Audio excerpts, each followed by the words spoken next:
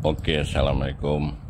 Kali ni aku nak tunjukkan rempit attack 3 bulan 7 2023. Macam biasa, kau gariskan SNR tu pada M15 dan linkkan pada M1.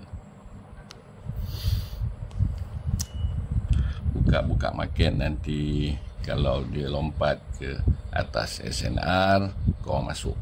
Tapi kalau dia melompat terlampau tinggi, tunggu dulu. Biar dia jatuh macam ni biar dia jatuh dekat MA9 balik. Ini kita panggil gap up. Jadi jangan guluju biar dia jatuh. Ha macam ni kan? Nampak jatuh. Nanti dia duduk MA9 ni stabil. Duduk atas SNR tu kau orang balun.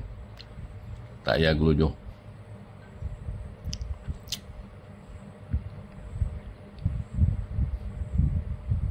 Jadi siapa yang melompat atas tu masuk memang korang kalos.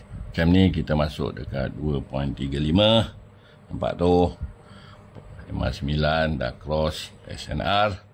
Tunggu MA50 pula cross up SNR.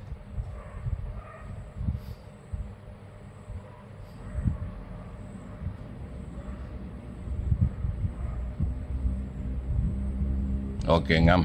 Dia dah cross up SNR. Korang hold je. Berarti je selagi MA9 atas MA50 korang relax lah. Untuk orang yang belum masuk, nanti pecah height tu, height gap up tu korang masuk. Yang ikut minor SNR. Yang dah masuk pagi ni relax je.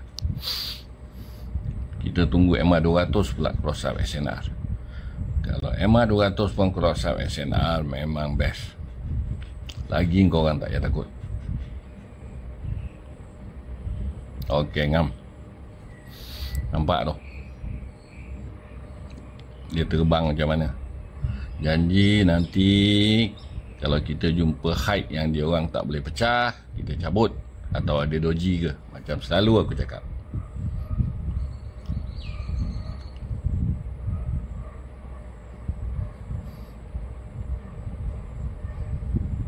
Okey macam ada doji tu kita cabut 2.54 jadi kita cek balik position kita. Korang masuk 2.35 waktu gap up tu jatuh ke bawah. Kita tunggu. Tu. Tengok je MA 9 dengan MA 50 tu. 254 dia doji kita cabut. Jadi korang untung berapa tik hari ni? Korang untung 38 tik attack hari ni kalau satu kau 100 kau dah untung 3800 jadi agak faham Tengoklah video ni berulang-ulang. Assalamualaikum.